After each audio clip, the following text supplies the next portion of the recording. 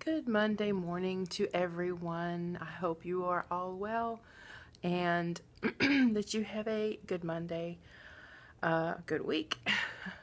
I did not um, put up a video yesterday because um, I've been really busy at work and we just hired someone new and she's supposed to start today, Lord willing, and the creek doesn't rise.